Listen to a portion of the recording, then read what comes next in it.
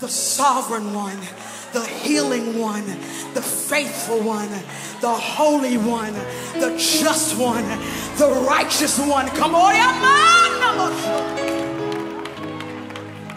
there is no defeat.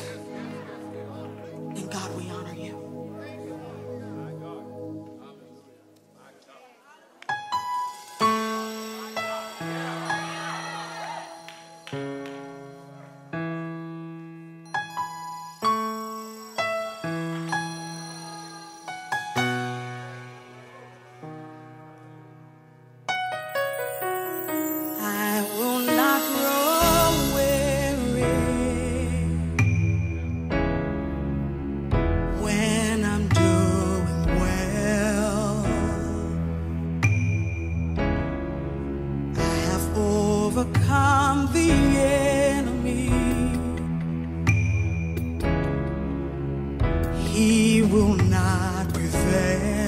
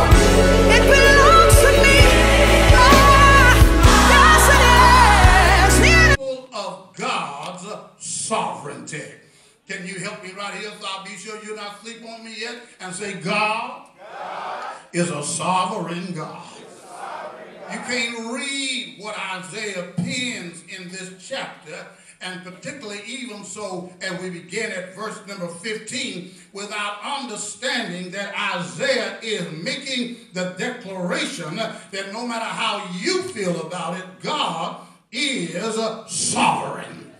God is still in control. God is still in charge. God is still the head of everything. God can still do what God want to do whenever God get ready to do it. Because he is a sovereign God. And as I listen to him talk about or highlight the sovereignty of God, Elder, amen, uh, Johnny, here's what I discovered that Isaiah, in his reflection on God, illustrates the greatness and goodness of the Lord. You didn't close your Bible, you can see it almost as plain as the nose on your face.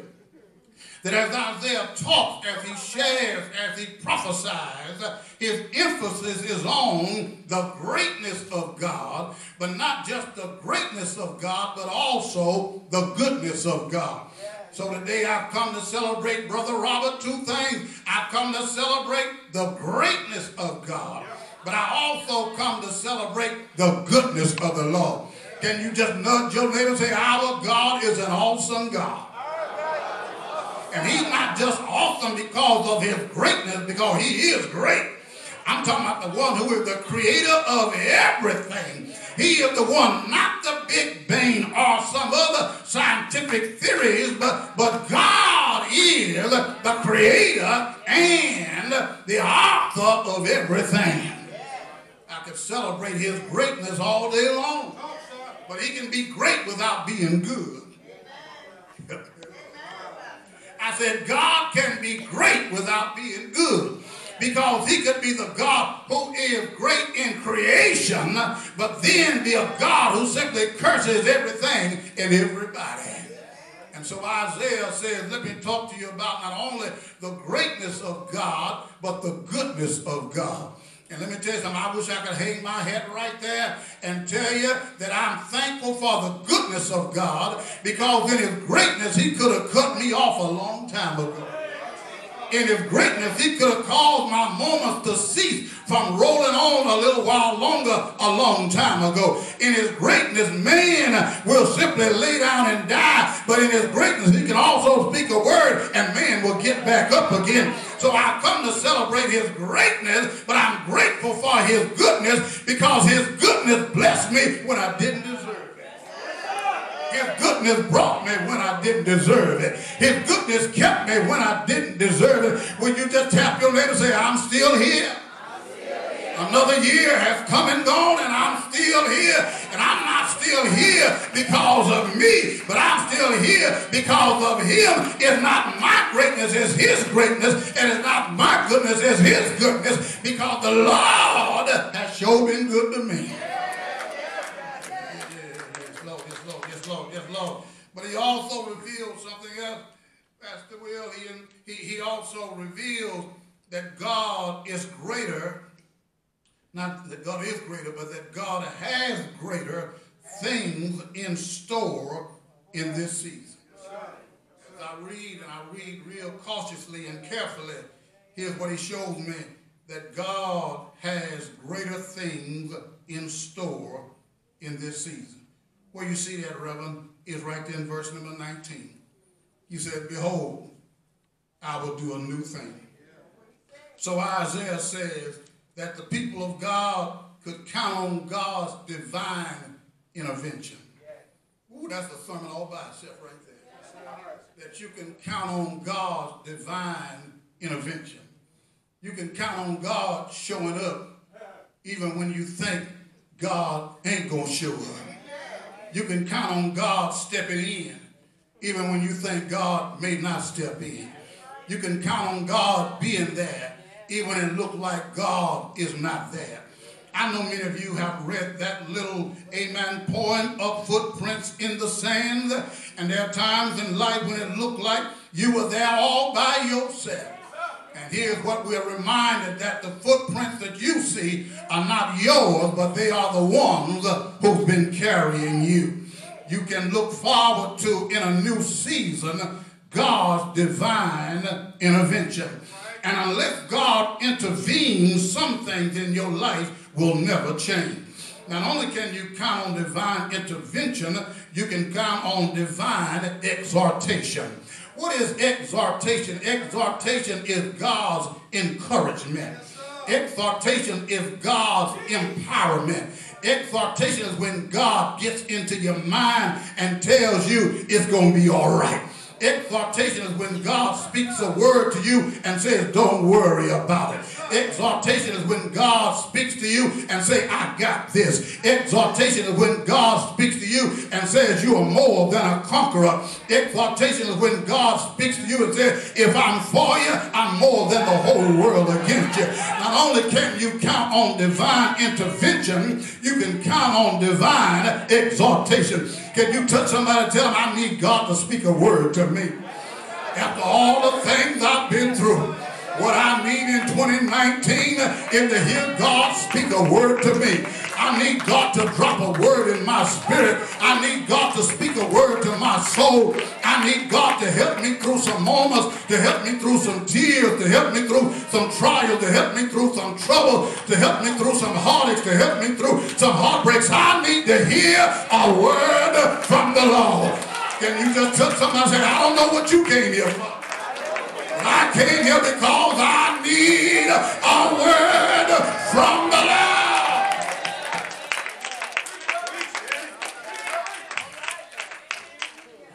divine intervention. will bring about divine exhortation. And when you get divine intervention, coupled with divine exhortation, here's what comes next divine deliverance. I wish I had somebody here. Isaiah said, let me tell you what God is going to do. God going to step into your stuff. God going to step into your mess. God going to step into your disorder and bring order. God going to step into your confusion and bring some peace and bring promise and bring prosperity. And when God steps in, he ain't just going to deal with your situation. He going to also talk to you. And when God get through talking to you, if you'll hear what God says, God will deliver you. Help me, Lord Jesus. To find out if there's just one somebody here today who say, I need the Lord. I need him, I need him, I need him. I need the Lord and I need his deliverance because where I am, I cannot handle this and manage this all by myself. Isaiah reveals that God is always more. Can you say that word with me? More. Come on, say it like you ain't scared of it. More. Isaiah reveals that God is always more than what he has previously revealed himself to be. Hold on, let me say it one more time. Whatever God has revealed himself to be in your yesterday, Isaiah says, uh, don't worry about it. God is so much greater and God is so much gooder that God can show you some sides of him that you haven't already seen. That God can bring you from places he haven't he haven't brought you from in the same way before.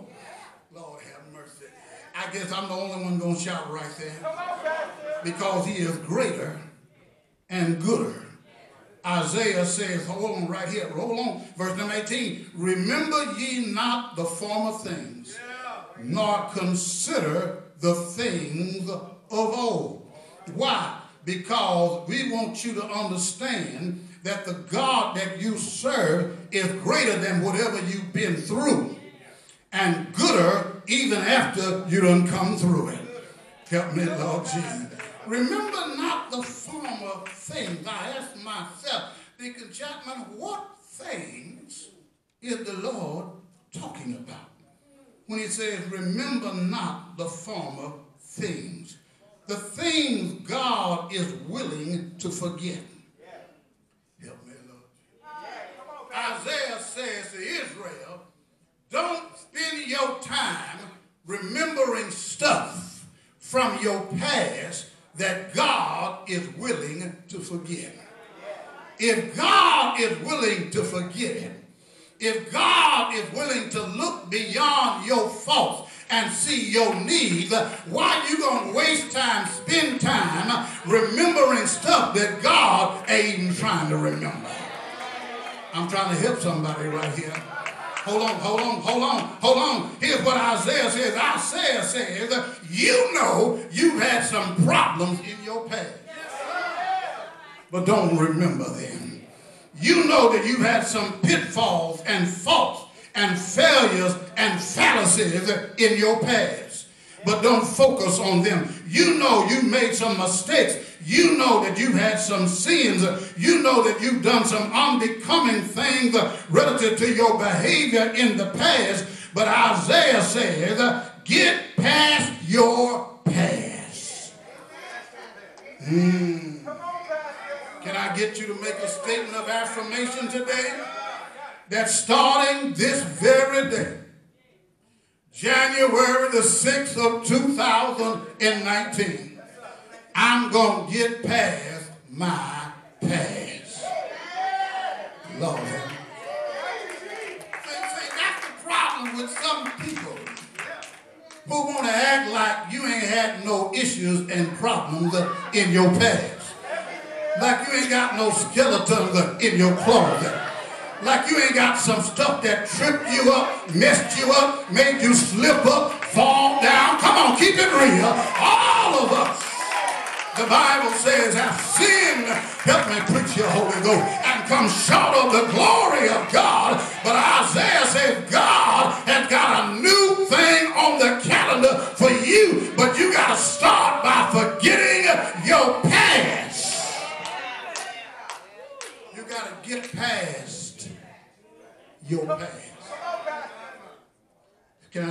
it real simple? Yeah. Say it with me, Robert. Let it go. Let it go. Oh, Lord have mercy. Come on, help me, Frank. Say, let it go, let it go. Let it go, let it go, let it go. Come on, help me, Sister Caldwell. Just say, let it go, let it go. That's all Isaiah's saying. That God wants to really bless you and take you to a whole new region, a whole new level, a whole new experience. But in order to get there, you got to start by letting some stuff go. Can I try to teach this lesson this morning? Don't apologize for my kind of preaching and teaching. He said, let it go, let it go. Forget those things behind you. That's what Paul says in the New Testament. He said, I forget those things that are behind and I press. That means I go forward toward the mark of the high calling, which is in Christ Jesus. See, here's what God wants you to do in 2019. God wants you to move forward without looking backwards. Can I say that one more time, Sister Wood? God wants me to go forward without looking backwards. How many of y'all know the story of, of Mrs. Lot way back in the, in the Old Testament? Huh? When the Lord told Abraham, said, go down there and get Lot and his family and bring them up out of Sodom and Gomorrah. And he told them, gave them specific instructions and said, I'm going to bring you up out of here, deliver you out of here. But on your way up and out, I don't want you to turn back. I don't want you to look back. But Miss Lot amen, refused to stop focusing on what God was trying to deliver her from. Can, can I make it real plain for you? Sometimes we're focusing too much on the stuff God trying to set us free from. We're focusing too much on the stuff God wants us to turn loose and to let go. God says it's time for you to get up out of there. And when you get up out of there, don't be looking back and thinking about going back because that ain't what I want for you. I want you to have a new season. I want you to have a new day. I want you to have a fresh start. I want you to have a new beginning. I want you, Lord have mercy, to have a makeover. But rather than getting a makeover, she got messed up. Y'all know the story, don't you? She turned into a pillar of salt because she wouldn't let go of what God was trying to save her from. This is going to be real simple, but I'm going to ask you to do something refuse to allow your past to ruin your future.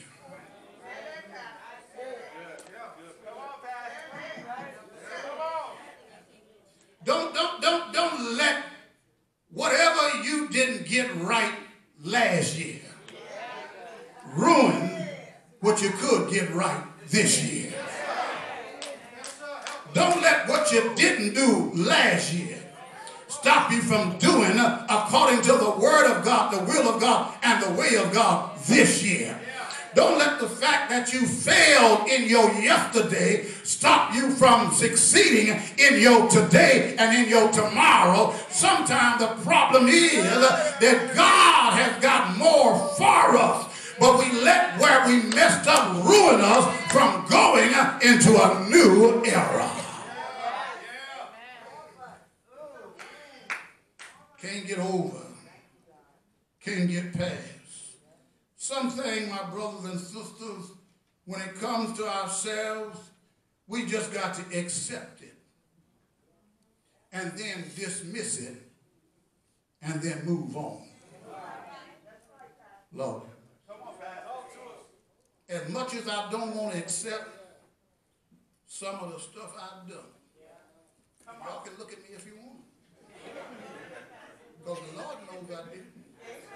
As much as I don't want to accept some of the things I've done in life, the real truth is I might as well go on and accept the fact that I did it. And don't ask Flip Wilson to come and bail me out. Talking about the devil made me do it. well, some stuff the devil didn't have to make me do. Oh, have mercy. I got to accept the fact that I did it, dismiss the fact that I did it, and then move on. Let me see. In spite of your rebellion, here's what Isaiah says God is going to rescue you. In spite of your rebellion, God is going to redeem you to himself. Oh, I started shouting when I put that down. In spite of your rebellion, God is going to release favor on your behalf. Ooh, help me, Lord Jesus. Can I run over that one more time?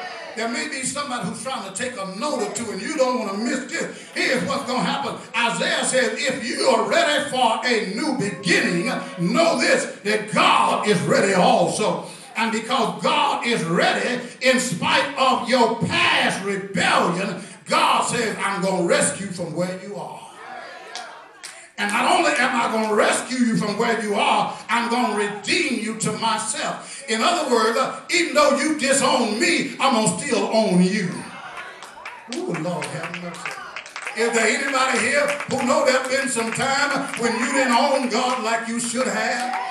You didn't stay close to God like you should have. You didn't walk with God like you should have. You didn't talk to God like you should have. Well, here's what God says. Even though you disown me, God says, I will redeem you and keep a relationship between me and you, even though you don't deserve it. Ooh, I feel a shout in my own spirit. When I think about what the Lord has looked in my own life. I can't help but shout hallelujah and say thank you, Lord, for redeeming me to you. Even when there were times I pushed you away. I wasn't drawing near to you, but you kept drawing near to me. Oh, somebody don't know when to shout. Don't know when to shout.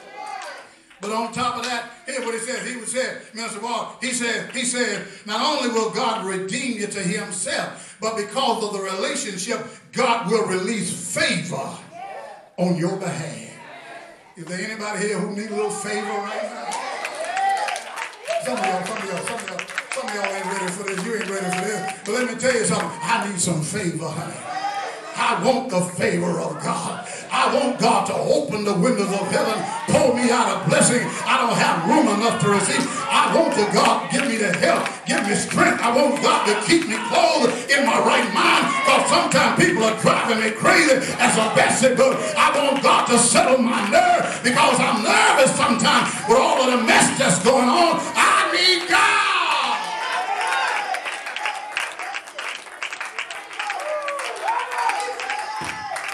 To release favor. Tell your neighbor, favor, favor, favor. Maybe you want furniture, but I want favor. Maybe you want a new car, but I want favor. Maybe you want hot money, but I want favor. Maybe you want a new honey, but I want favor. Maybe you want a new coat, but I want favor.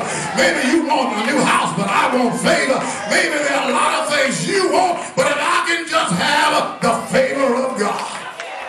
When God gives me favor, Whatever I need, God will provide. I know there's just one or two people here who can tell you what the Bible says.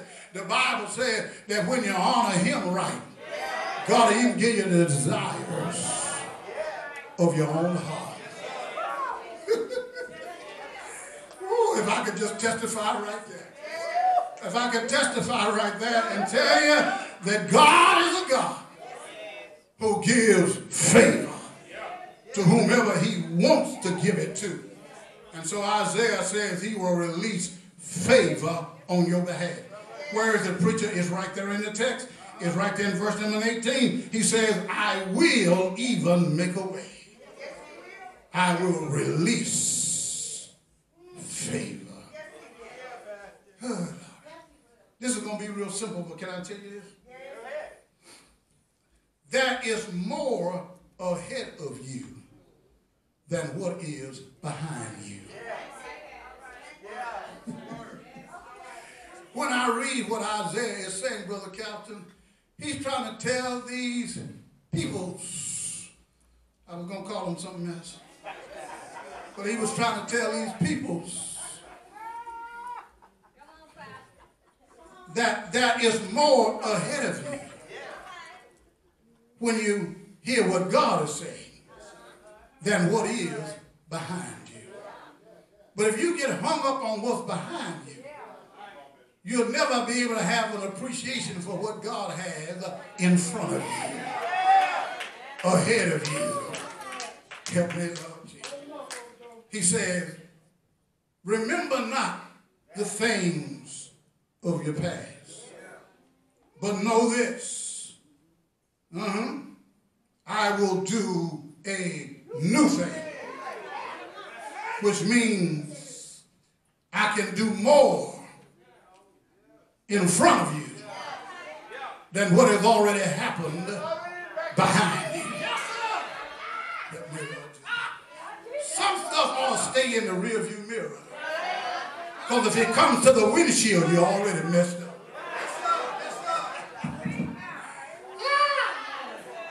I said some stuff ought to stay in the rearview mirror of life rather than being in the windshield because it blocks your vision of going forward. And let me tell you something, if you spend your time driving, watching the rearview mirror, you're going to run over all your blessings and wreck your blessings that are ahead of you going forward. Hold, hold, hold on, hold on, hold on. I'm going to say it to you real simple. If you fell down, get up. I'm going to say it real simple. If you messed up, get over it. If you fell down and messed up, get up and get going. Well, that's all Isaiah is telling you. He said, neither consider the things of old. He's literally saying, Israel, your present environment is not greater than your past enslavement. Your present environment is not greater than your past exodus. Your present environment is not greater than your past enemies. You got to know the history of the nation of Israel. And all Isaiah is doing is help them to take a reflective look back and to understand that where you are right now in Babylon is not greater than your past enslavement in Egypt. If I could get you out of Egypt, I can get you out of Babylon. Are y'all hearing me here? He says, Your present environment, where you are in Babylon, and your ability to get out of there, amen, is not greater than your exodus from Egypt. I was able to get you out of there even after 400 years. And your enemies today are not greater than your enemies yesterday. You see, yes, let me add live for him a little bit. Isaiah, Isaiah is saying, you ain't seen nothing yet. Can you help me right here, Sister Tammy Bone? Find two or three people, just tap them on the shoulder and say, you ain't seen nothing yet. If you can't touch them, just point in that direction. Tell you ain't seen nothing yet. You thought you saw something way back in, the, in Egypt, but I need to tell you that where you are right now ain't got nothing to compare with what I did in Egypt. I'm greater and gooder now than I was in demonstration back then. Hold on, hold on, hold on. I want to tell you something. I want to tell you something. You ain't seen nothing yet. God says, I want you to have a new season. You ain't seen nothing yet. I want you to have a new beginning. You ain't seen nothing yet. I want you to have a new era in your life. You ain't seen nothing yet. I want you to prosper like you ain't never prospered before. You ain't seen nothing yet. I want you to be the head and not the tail. You ain't seen nothing yet. I want you to be up rather than down. You ain't seen nothing yet. I want you to be found and not lost. You ain't seen nothing yet. I want you to be victorious and not a victim. You ain't seen nothing yet. Can you just touch somebody? Tell them God wants you to know. You ain't seen nothing yet. Hold on, hold on, hold on, hold on, hold on, hold on. I promise you my sermon won't be as long as the football game last night. For those of you who think I preach too long, I'm still shorter than the average movie, television show. That man. Listen, listen, listen, listen, listen. Ooh, you, you got to see what I saw. Here's what, here's what, here's, here's, here's what Isaiah helps us to understand about this whole matter. He helps us to understand that in your deliverance yesterday, God was undeterred by opposing circumstances. When God delivered you from yesterday, he was undeterred by opposing circumstances. In other words, uh, wherever you were, whatever you were dealing with, whatever you were going through, however you were trying to make it and meander your way through the mess you was in, it didn't stop God one bit from getting you out of where you were. Undeterred by opposing circumstances. Okay, I see. I got to help you right here. If you've been to Sunday school, you know the story. Here's the story, Reverend. God had begun the exodus from the land of Egypt. And they came, Minister Favorite, to the Red Sea. And the Red Sea represented an opposing circumstance. In other words, Lord, I want to go forward, but I got all of this water in front of me. I want to get to what you promised me, but I got a whole Red Sea in front of me. I got mountains on either side. Y'all ain't hearing me here. Mountains on the left, mountains on the right, all of this water. And even if you were to take a picture, you couldn't dip out enough water to get to safety on the other side in lifetime. And yet, here's what God says In spite of whatever your opposing circumstance, I'm greater than your circumstance. Anything that would keep you from going forward, God says, I'm greater than that. Are y'all hearing me here? Can you say this with me? God is greater than anything that would keep me from going forward. And that's why he could open a Red Sea so that the children of Israel could cross over onto the other side and make their way to the land of promise because he is undeterred by opposing circumstances. And I need to tell you that there are some things that's going to try to block your blessing.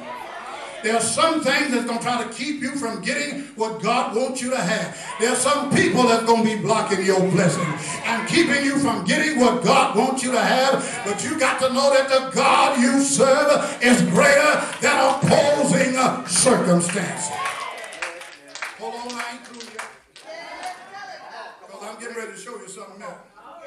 Thank you, Holy Ghost. Because not only, Minister Taylor, is God greater than opposing circumstances, but here's what Isaiah says In blessing you with a new season, God was undeterred by hostile people.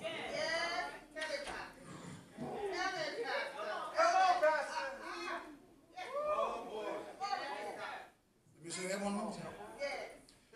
When God is trying to take you somewhere, God ain't bothered about the people who's bothering you. Hold on, hold on, brother. That ain't in my Bible. Yes, it is. Yes, it is. Yes, it is. Look at